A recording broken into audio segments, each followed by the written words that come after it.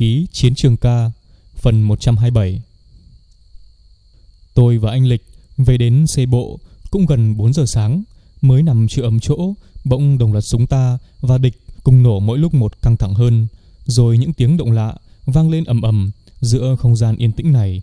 Tiếng súng thì đã đành, Nhưng tiếng động lạ như tiếng máy nổ thì lại là chuyện khác. Giữa chốn đồng nước mênh mông này, Đó là điều đáng quan tâm. Rồi bên hướng cánh phải Bên dưới xe bộ cũng đồng loạt nổ súng Tiếng nổ gần nghe chát chúa Ánh chớp đầu nòng liên tiếp Kèm giữa những loạt đạn nổ của Trung Liên RPD và AK là những phát đạn B41, B40 của cả hai bên. Chúng tôi lao ra công sự chiến đấu. Giờ đây thì cả chuyến chốt C2 của chúng tôi đã nổ súng. Ý đồ của địch đã thể hiện rõ, chúng không còn là muốn bắn qua bắn lại nữa, mà là một trận đánh lớn, muốn dứt hẳn cái chốt này và C2 chúng tôi là những người lính phòng ngự. Tiếng nổ của máy là tiếng động cơ của xe tăng cùng thiết giáp M113 của địch. Vì có kế hoạch đánh lớn nên chúng tập trung lực lượng mạnh và có sự chuẩn bị rất kỹ càng. Hướng trước mặt tiền tiêu là 4 xe tăng và 6-7 xe M113.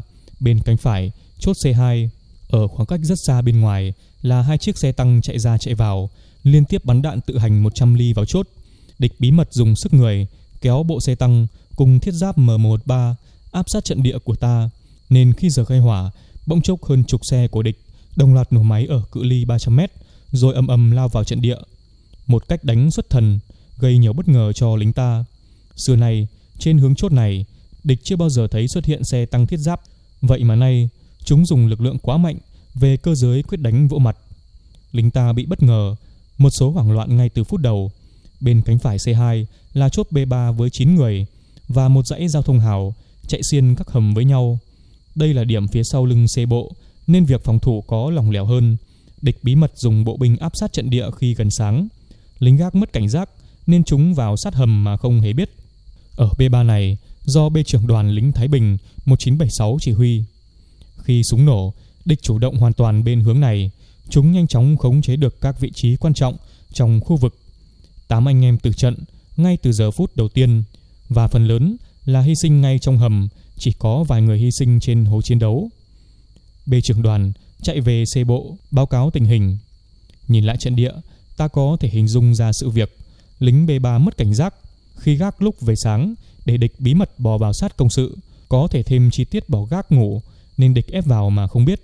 Sau này, B trưởng đoàn có nói, trận đó lính ta có gác bình thường nhưng đến sáng bỏ vị trí đi đánh răng rửa mặt nên địch nhảy vào tới công sự. Dù với bất kể lý do gì đi chăng nữa thì đó cũng là mất cảnh giác. Không lẽ hàng trung đội của địch áp sát tới công sự mà cũng không biết. Mới nổ súng chưa được 5 phút, tôi đã thấy B trưởng đoàn chạy về báo cáo tình hình mất chốt bên cánh phải. Mấy ông B trưởng đánh đấm kiểu này thì sợ quá. Nhóm lính pốt chiếm được vị trí hầm của B3, thổi còi toe toe, ngang với xe bộ ra là hầm Đại Liên nằm cao hơn trận địa B3. Lúc đầu có thấy Đại Liên nổ súng, nhưng chỉ được một lúc thì cũng im lặng. Ngay lúc đó, trên tiền tiêu có người chạy về xe bộ, báo tình hình xe tăng thiết giáp địch vào rất đông, yêu cầu chi viện thêm người cùng hỏa lực. Tình hình xe bộ C2 trong vài phút đầu hết sức rối ren. Anh Lịch lao ra ngoài hầm, xách súng lên tiền tiêu. Trước khi đi, còn dặn tôi chỉ huy nhóm lính xe bộ và bên cối đánh vận động qua cánh phải, chiếm lại hầm đã mất. Anh Tập gọi về dê, báo cáo tình hình, xin chi viện pháo. Anh Đông xe phó, qua khẩu DKZ-75, điều động bộ phận này qua trung gian chi viện cho tiền tiêu. Lính thông tin lo giữ máy và bảo vệ xe bộ. Trung gian giữa và trung gian cánh phải vẫn bình tĩnh giữ chốt. Họ bắn những phát B40, B41 ghim chân xe tăng thiết giáp địch. Đám bộ binh địch bám theo xe cũng bị khẩu 12 ly 8 của ta bắn không dám vượt lên. Phải nói rằng địch khai thác rất triệt để điểm mạnh của chúng và khai thác rất tốt thế yếu của ta trong trận này. Chỉ duy nhất một điều rằng sau khi chiếm xong vị trí cánh phải, chúng không phát huy được khả năng với quân số và hầm hố kiên cố mà chúng ta đã làm sẵn. Tôi chạy qua bên cối 60, xin người để đánh vận động. Bên đó chỉ có duy nhất một người là thằng ấm người Huế. Vậy là chúng tôi có bốn người, chia làm hai cánh, bám theo con đường về B3 mà vận động. Khoảng cách mỗi người trên 50 mét. B3 cũ là khu vườn rộng được bao bọc bởi hàng tre. Bên trong cây ăn quả rất nhiều, đặc biệt là có những cây xoài to. Một vài cái nhà đã bị bắn tan nát do những đợt pháo kích của địch từ trước. Anh Lịch ở đâu chạy về, cùng tham gia với chúng tôi vào trận chiến, vào chiến lại hầm hố. Tôi đi bên trái đội hình và đã lên gần đến hầm Đại Liên. Một người từ trên hầm Đại Liên, trong lùm cây tre, trên cái gò cao hơn mặt ruộng chạy ra. Tôi nhận ra đó là anh Trung, A trưởng Đại Liên. Tôi hỏi anh Trung, sao Đại Liên không bắn hả anh? Súng hóc rồi, hiện nay đang chữa mà không chắc được. Thì ra, anh Trung đang cảnh giới cho anh em tháo súng Đại Liên chữa. Thấy tôi lên đến đó nên lom khom ra nắm tình hình. Tôi tạm thời thông báo cho anh Trung biết đã mất ba hầm sau lưng Đại Liên. Thằng Khoa chạy ra gọi anh Trung vào trong chốt. Địch đang tiến vào còn 30 mét nữa. Trong A Đại Liên có duy nhất một khẩu AK mà anh Trung hiện đang giữ, còn lại toàn sử dụng M72 và lựu đạn. Một tin khiến chúng tôi rụng rời chân tay là Đại Liên đã gãy kim hỏa, không thể bắn được nữa. Anh Trung vội vàng quay lại hồ chiến đấu. Tôi vận động vượt qua bụi tre, nhảy vào trong khu vườn rộng. Mép bên kia, tôi thấy thoáng bóng anh Lịch, thằng Ấm và thằng Quang cũng đã qua bờ tre hướng bên kia. Chúng tôi vào sát tới đầu giao thông hào và hầm đầu tiên của B3. Sau căn hầm có mái nhà sát mặt đất. Tôi thấy thoáng bóng áo đen qua tường đất và khe lá chanh thốt nốt. Tôi lia súng bắn liền. Thằng Hồng đi gần bên tôi cũng bắn phụ họa. Hướng anh Lịch và hai thằng kia cũng đã nổ súng. Đầu này tôi ép mạnh bằng hai quả lựu đạn Mỹ liên tiếp xuống công sự, rồi vừa bắn vừa nhảy đại xuống giao thông hào. Xác lính ta và lính Pốt cùng nằm cạnh nhau trên công sự. Thằng Pốt chưa chết hẳn, nó dựa bờ tường giao thông hào mà thở. Máu trong người nó chảy ra, ướt hết áo đen. Cạnh nó, khẩu B41 với quả đạn lăn lóc. Tôi bồi luôn cho nó hai loạt, rồi nhanh tay thay ngay bằng tiếp đạn. Vượt qua xác thằng bốt, tôi vứt khẩu AK của mình xuống, rồi xách khẩu B41 của nó lên dương búa đập nhằm hướng hầm thứ hai bắn ngay, rồi ném súng lên trên công sự, cầm lại khẩu AK của mình. Sau phát B41 tôi bắn, thì thằng Ấm và thằng Quang cũng bắn găm vào công sự, rồi nhảy vào giao thông hào. Anh Lịch nhảy theo sau, chỉ 2 phút, chúng tôi đã chiếm lại được hai hầm. Chúng tôi dồn lên để chuẩn bị chiếm lại hầm thứ ba. Vừa hay, khi đó, từ trong hầm một người chạy ra, thì ra là một thằng lính 78 người Thái Bình vào C2 trước tôi mấy ngày. Nó ôm bụng chạy ra, khi nó chạy trên hào ngang mặt tôi, tôi nhìn rõ khúc ruột của nó lòi ra lên một khúc. Sau này, tìm hiểu nguyên nhân mất chốt ba hầm này là do thằng này tính nó nhát và cả sợ ma nữa, nên khi gác, nó bỏ vị trí chui vào hầm, ngồi cho gần anh em. Khi phát hiện ra địch vào, nó sợ quá, chạy về hầm và bị bốt nó đuổi theo tận nơi, ném lựu đạn vào hầm, chết oan hai lính mình đang ngủ trong đó. Bản thân nó bị thương nhưng giả vờ chết nằm đó. Khi chúng tôi đánh vào thì nó chạy về tuyến sau với cái bụng bị thủng rộng, ruột lòi ra ngoài. Dù nó sợ chết nhưng cũng không thoát khỏi chết. Chưa về đến chuồng bò, nó đã hy sinh do mất máu nhiều. Địch bắt đầu ổn định và bắn phản công chúng tôi. Chúng bắn toàn vượt qua đầu vì chúng tôi dưới công sự. Lúc này cối 60 của C dập mạnh vào hầm chỗ chúng tôi và cả của hầm địch. Anh Lịch bảo tôi cùng anh em ở lại để anh chạy về báo khẩu cối bắn chi viện vào hầm thứ ba. Khi cối dứt, chúng tôi chủ động đánh, nói xong anh vận động về. Bốn thằng chúng tôi chui vào các đoạn hàm ếch trên giao thông hào, ngồi tránh cối của chính quân mình. Chỉ vài phút sau, đã thấy cối chuyển làn sang hầm thứ ba, cách chúng tôi cũng trên 50 mét, rồi cối 120 ly của E cũng bắn chi viện cho chúng tôi. Cây cối đổ ngột ngang trên mặt đất, đất đá bay vù vù sau tiếng nổ. Chúng tôi bên này chờ, sau khi dứt đề pa đầu nòng la nhảy lên đánh. Cũng chỉ 5-7 quả đạn cối, 120 ly và gần chục quả cối 60 thì dừng. Chúng tôi lúc này, thằng nào cũng 55 hỏa lực B hay M72 bắn phủ đầu rồi xông lên. Địch dưới công sự, chúng tôi bên trên dàn hàng ngang. Vừa phang hỏa lực vừa chiến, khi hỏa lực nổ là vứt súng luôn rồi bắn bằng súng AK. Chỉ chớp nhoáng, chúng tôi đã vào đến nơi. Địch bỏ chạy về cuối công sự, giao thông hào rồi bị bật ra ngoài ruộng. Trong đám lính pốt đó có cả nữ. Nó mặc chiếc xà rông quấn cao lên, B40 kèm nách. Khi nó chạy ra ngoài, nó nhảy qua các thửa ruộng, cứ tưng tưng rồi bất thình lình nó quay ngoắt 180 độ trở lại, lia súng vào chốt bóp cò. Chúng tôi đánh hất địch ra ngoài trận địa, chúng nằm ngoài ruộng, nấp sau những gốc thốt nốt bắn trả. Nhóm chạy ra cũng gần được hai chục đứa, với hầm hố vững chắc và quân số đông hơn chúng tôi, nhưng chúng bị phủ đầu bằng đạn pháo, cối của ta, cùng nhiều loại vũ khí hỏa lực bộ binh nên chúng hoảng loạn, tưởng quân ta đông người. Lúc này, pháo địch bắt đầu đội lên đầu chúng tôi. Pháo bắn khiếp lắm, cắt cụt ngọn cây xoài to, đổ ầm ầm. Chúng tôi chui trong hầm, sau tiếng nổ là thò đầu lên. Đạn pháo của địch không ngại, bằng hai chiếc xe tăng trước mặt, lúc tiến vào khi lùi ra. Chúng bắn tự hành 100 ly rất nhanh, không kịp nghe tiếng đề pa đạn đã nổ. Chỉ cần thấy đầu nòng rung lên là đầu này đạn đã nổ rồi. Pháo 105 ly từ hướng của địch cũng đã liên tục đề pa. Các quả đạn liên tiếp giết trên đỉnh đầu rồi nổ khắp phía trên công sự, chặt đứt phăng các ngọn cây cao, đổ rầm rầm. Bốn anh em chúng tôi phải tản ra khắp tuyến công sự, liên tục ngoi lên cảnh giới. Tránh tình trạng địch dừng bắn pháo là bộ binh địch ép sát công sự. Tôi đảm nhận về cánh trái của hầm B3, khu vực gần khẩu đại liên nhất, trong cái hố chiến đấu, khuất sau bụi tre rậm. Cứ sau loạt đạn pháo nổ là chúng tôi lại ngoi đầu lên trên công sự, khua vài loạt đạn rồi di chuyển vị trí khác trong giao thông hào. Cách đánh này để ghim chân bọn bộ binh địch ở bên ngoài. Chúng vẫn nằm sau những gốc cây bờ thửa ruộng, bên ngoài bắn như vãi đạn vào chốt.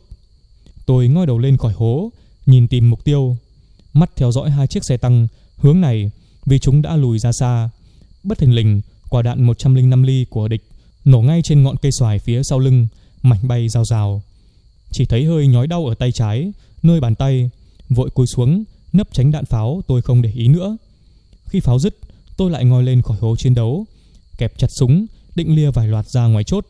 Tôi thấy tay mình hơi tê và dòng nước ấm ấm chạy dài tới khỉu tay. Nhìn lại, tôi thấy máu đỏ cả bàn tay trái của mình. Kiểm tra lại khắp người đều không sao, duy có ngón tay đeo nhẫn. Bên tay trái bị mảnh đạn pháo 105 ly. Phạt phải thấy cả xương.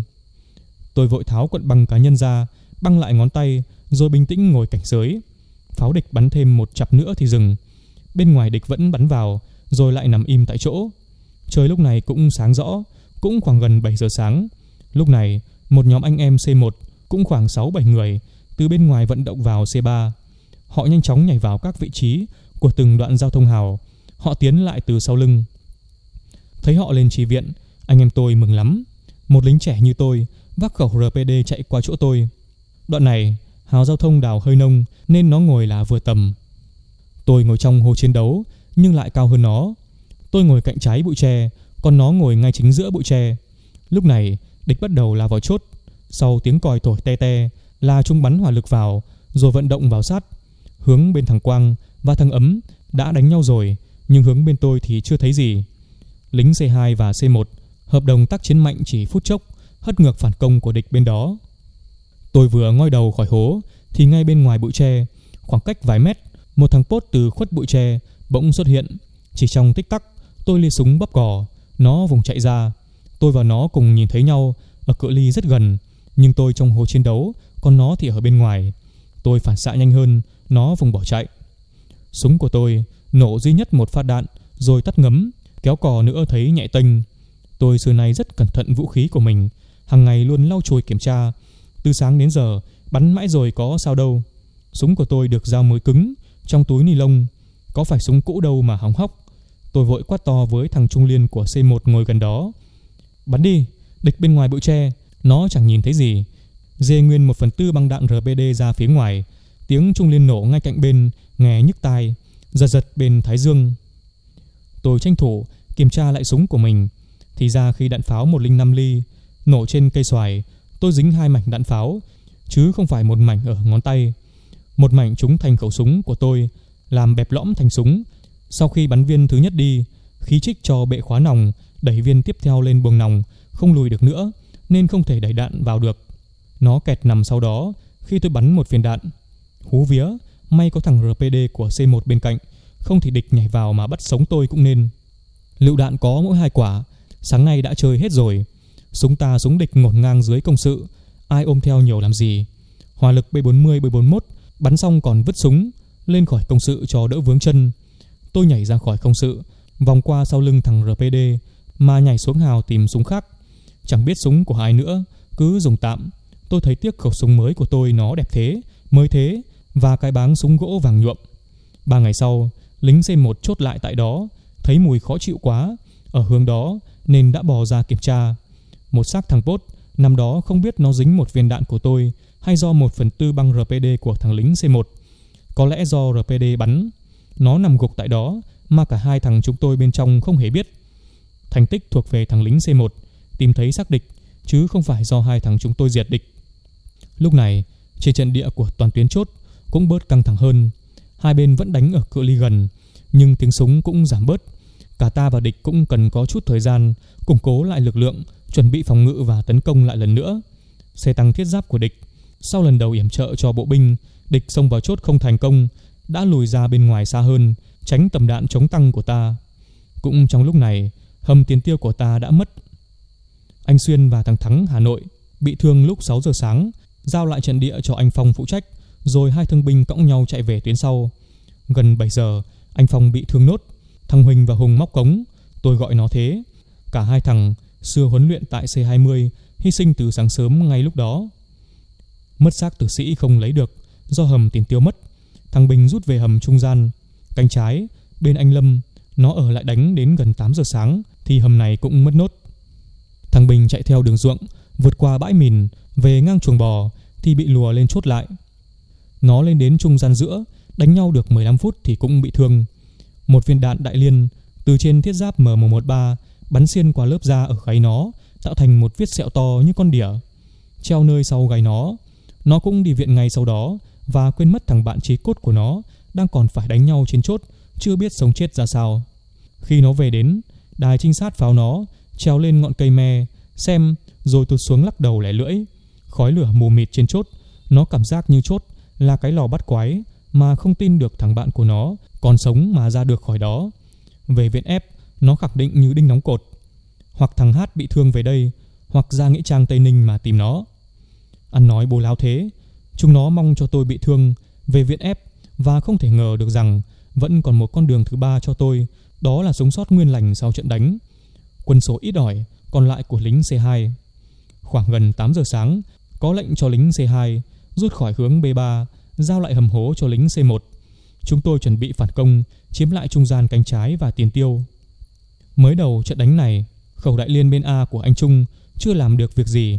Bốn người họ cùng với khẩu súng gãy kim hỏa Nằm im tại chỗ, Với duy nhất một khẩu AK Họ cũng không chịu vận động về xe bộ, Lấy vũ khí để tham gia cùng đơn vị đánh địch.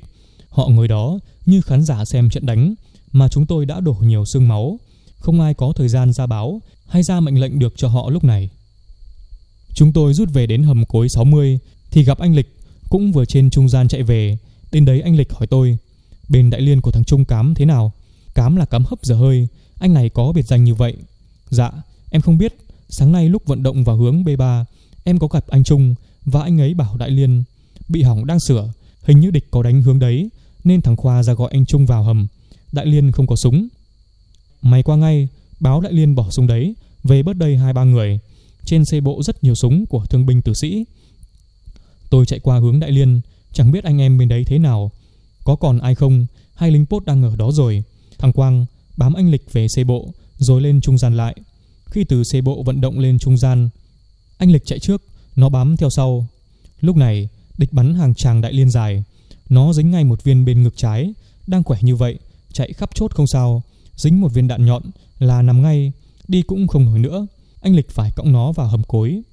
Tôi qua đại liên, Vừa chạy, bụng vừa lo. Đánh nhau tôi không sợ, Mà sợ nhất là anh em đại liên hy sinh hết. Hoặc anh em đại liên đã rút, Mà anh Lịch không biết, Địch đã tràn vào tới đó. Mình đến, quá mỡ bày miệng mèo. Cũng may, khi tôi chạy vào gần đến nơi, Thì thằng sao ra gọi tôi. Nhìn thấy nó là tôi mừng lắm rồi. Tôi hỏi nó, Đại liên sửa được không? Gậy mẹ nó kim hỏa rồi sửa cái gì? Trời ơi, Vậy mà mấy anh em chúng nó, Y cục thịt ra đây từ sáng không lo về xe bộ lấy súng Của cá nhân bộ binh mà đánh. Không hơn là bốn thằng có mỗi khẩu AK Của A trưởng Rồi ngồi đây rúm gió Như mèo gặp trời mưa với nhau. Trong khi anh em khác Đang đánh nhau chết cha chết mẹ từ sáng, Người thì thiếu, Không ai thay thế những vị trí đã mất người. Tôi truyền mệnh lệnh của anh Lịch cho A trưởng Đại Liên, Lệnh C trưởng cho hai ba anh em về ngay xây bộ lấy súng rồi chiến đấu cùng anh em giữ chốt.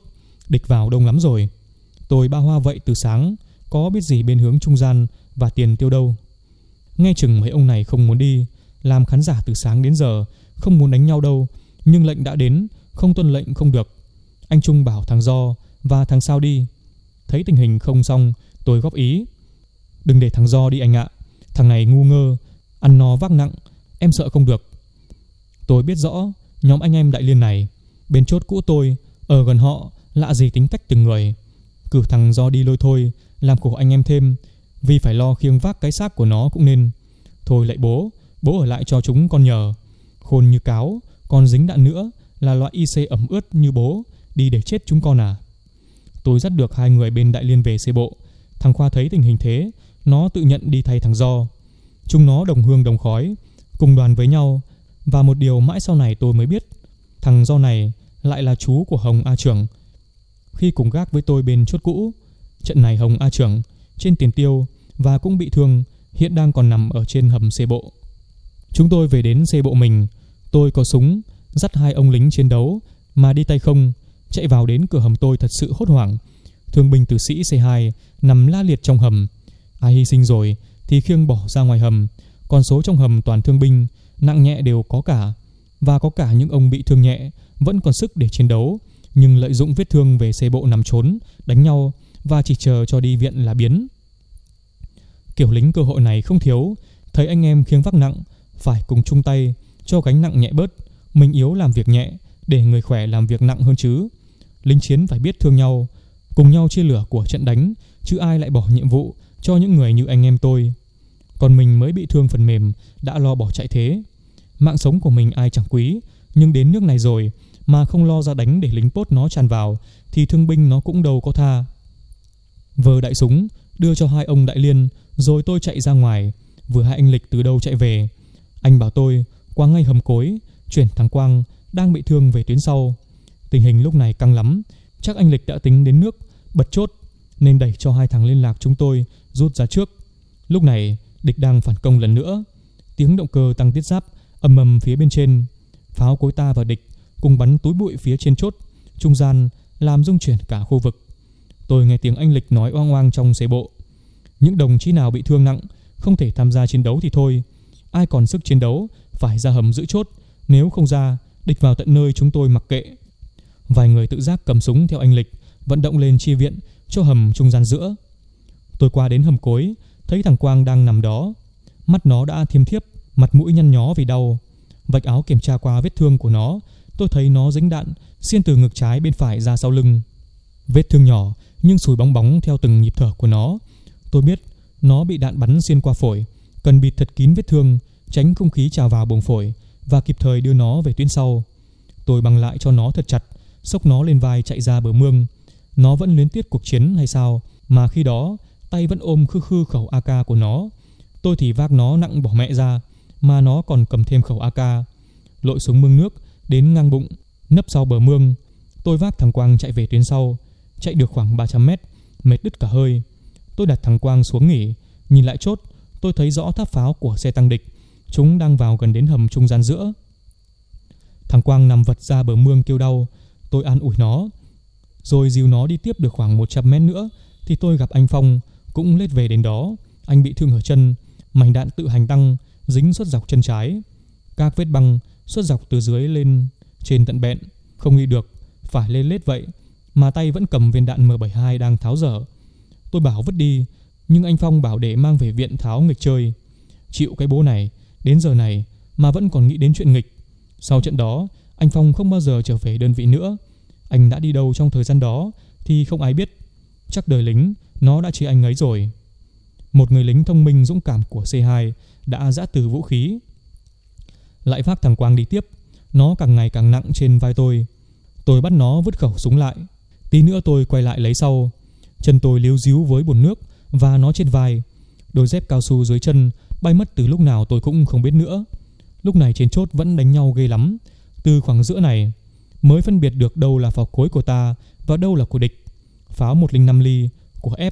Bắn chi viện cho chúng tôi trên chốt Đạn déo trên đầu Cối 120 ly của E nghe banh banh Khẩu pháo 85 ly Giá ngang gần cứ C2 Bắn liên tục và nổ trên chốt ầm ầm khi mới rút ra khỏi chốt, tôi chú ý quan sát bên hướng B3. Khi đó, xe tăng địch đang lao vào, vừa chạy vừa bắn tự hành, còn khẩu đại liên và 12 ly 8 trên nóc xe bắn như vãi chấu. Đạn găm vào đất trên bờ mương nghe phật phật. Lúc này, sau đợt phản công thứ hai, bằng cả xe tăng thiết giáp của địch bị chặn đứng, chúng đã chạy ra, nhóm bộ binh địch bám theo tăng và thiết giáp bị dọn sạch. Trên E, cho hai thằng lính bắn tỉa là anh An và Quế vào trận. Anh An nằm ngay trên hầm khẩu DKZ-75, tỉa từng thằng nhoi lên. Anh Quế từ chuồng bò bắn vào, lính bắn tỉa chuyên nghiệp với hai khẩu Draguno rất hiệu quả. Còn khoảng gần 100 mét nữa là về đến chuồng bò. Trên đó, dây trưởng ước và chính trị viên dê điệp đang ở đó. Họ từ xa quan sát và thấy tôi vác thằng Quang về đến đó. Biết rằng tôi không thể cố thêm được nữa nên đã cho anh em vận tải chạy ra khiêng thằng Quang về tuyến sau. Tôi bám theo về đến chuồng bò. Thằng Quang được chuyển ngay về tuyến sau đó và nó không bao giờ trở lại đơn vị nữa. Đơn vị cũ của nó, những người yêu thương nó, những người cứu mạng nó mà một lá thư động viên báo tin cho anh em cũ biết tình hình của nó, nó cũng không viết. Hình như thằng này không biết chữ, nghe nói nó là con rơi của ai đó, bỏ lại cổng chùa tại Huế. Sư cụ trong chùa nuôi nấng nó lớn lên. Từ nhỏ, nó ở trong chùa không quen sát sinh, không ăn thịt cá. Thôi thì cho nó về chùa, gõ mõ tụng kinh, từ đó đến hết cuộc đời cũng được. Thú thật, tôi cũng định không lên chốt nữa, nhưng bị anh Điệp chính trị viên dê lùa lên chốt lại. Cực chẳng đã, tôi đành xách súng lại lên chốt.